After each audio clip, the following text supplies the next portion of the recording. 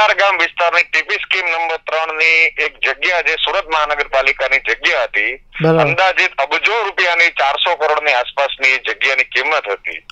એ જગ્યા વાર્ષિક ભાડામાં લીઝ ઉપર આ ટ્રસ્ટને આપવામાં આવી એ ઠરાવ અનુસાર અને વાર્ષિક ભાડું છે એક રૂપિયો. નમસ્કાર. ખબર છે ડોટ કોમ પરથી રાજેશ શાહ. દર્શક મિત્રો કોરોના મહામારીના સમયમાં ખાનગી હોસ્પિટલો બેફામ ચાર્જ વસૂલતી હોય છે. તો ઘણા લોકો એવી ફરિયાદ કરતા હોય છે કે જ્યારે જરૂર હોય છે ત્યારે રાજ્ય સરકાર આવી ખાનગી હોસ્પિટલોને એકદમ રાહત દરે જમીન ફાળવતી હોય છે. અમુક જગ્યાએ તો એક રૂપિયાના ટોકનથી પણ જમીન ફાળવવામાં આવી છે. તો આજે સુરતમાં આમ આદમી પાર્ટીના અને પાલિકાના વિરોધ પક્ષના નેતા ધર્મેશભાઈ ભંડેરીએ પાલિકા કમિશનરને એક પત્ર લખ્યો છે.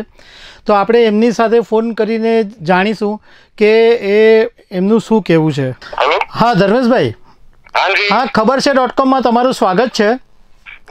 ધર્મેશભાઈ આપણે જે તમે આજે પાલિકા કમિશનરને એક પત્ર લખ્યો છે કે જે ખાનગી હોસ્પિટલોને સસ્તા ભાવે સરકારે જમીન આપી છે એમણે રાહત દરે સારવાર આપવી જોઈએ. તો એ તમારી રજૂઆત શું છે? મહાનગરપાલિકાના કમિશનર શ્રી બંછાનિધિ પાની સાહેબને મેં પત્ર લખીને કીધું કે બે હજાર બારમાં સુરત મહાનગરપાલિકાની સામાન્ય સભામાં રાઈટ પંદર જીરો નવ નંબરનો એક ઠરાવ પસાર કરવામાં આવ્યો હતો. અને એ ઠરાવ એવો હતો કે સમસ્ત પાટીદાર સમાજે કતારગામ વિસ્તારની ટીપી સ્કીમ નંબર ત્રણની એક જગ્યા જે સુરત મહાનગરપાલિકાની જગ્યા હતી. અંદાજિત અબજો રૂપિયાની ચારસો કરોડની આસપાસની જગ્યાની કિંમત હતી. એ જગ્યા વાર્ષિક ભાડામાં લીઝ ઉપર આ ટ્રસ્ટને આપવામાં આવી એ ઠરાવ અનુસાર અને વાર્ષિક ભાડું છે એક રૂપિયો. બરાબર.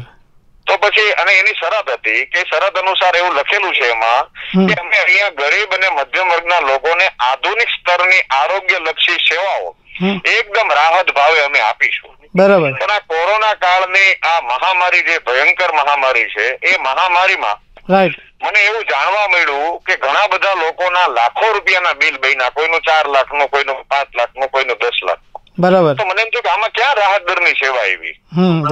જેવી રીતે ખાનગી હોસ્પિટલોના લોકો લૂંટી રહ્યા છે એવી રીતના સરકારી હોસ્પિટલો અને એવી હોસ્પિટલ કે જે સેવાના નામે ચાલુ કરવામાં આવી છે. સુરત મહાનગરપાલિકા પાસેથી સેવાના નામે જગ્યા મેળવીને ચાલુ કરવામાં આવી છે.